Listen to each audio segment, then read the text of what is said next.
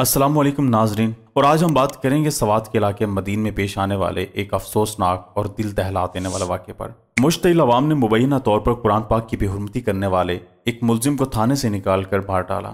बतौर मुसलमान हम इस वाक़े की सख्त मजम्मत करते हैं।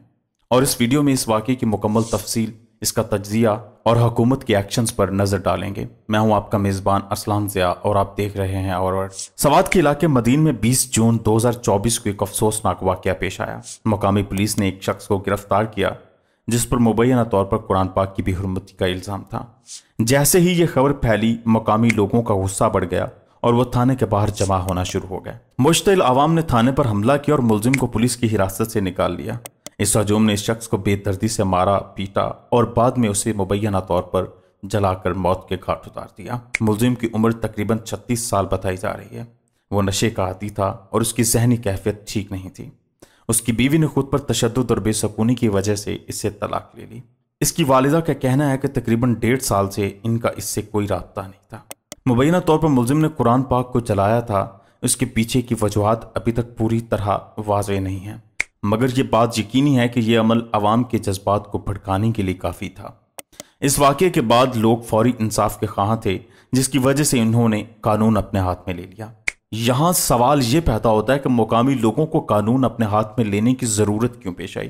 क्या यह अदालती निज़ाम की कहली और सुस्त रवि का नतीजा था? लोगों को यकीन नहीं था कि पुलिस मुलजिम के खिलाफ मुनासिब कार्रवाई करेगी, और इसी खदशे के तहत इन्होंने खुद ही इंसाफ करने की कोशिश की। इस वाक़े के बाद हुकूमत ने फौरी तौर पर तहकीकात का हुक्म दिया। कुछ पुलिस एहलकारों को मुअत्तल कर दिया गया और मजीद कार्रवाई जारी है। सूबाई हुकूमत ने इस वाक़े पर अफसोस का इजहार किया है और यकीन दहानी कराई है कि मुस्तबिल में इस तरह के वाक़ात को रोकने के लिए मौसर इकतबात किए जाएँगे।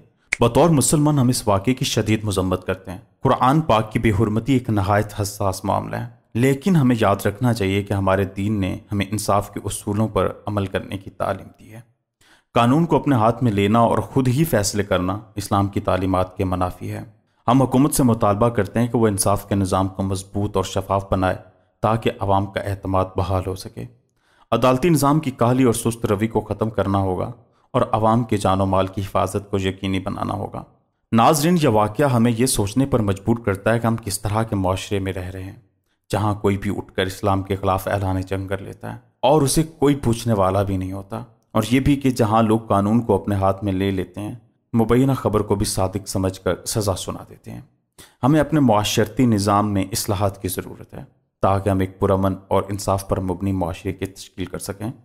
उम्मीद करते हैं कि आपको हमारी ये वीडियो पसंद आई होगी।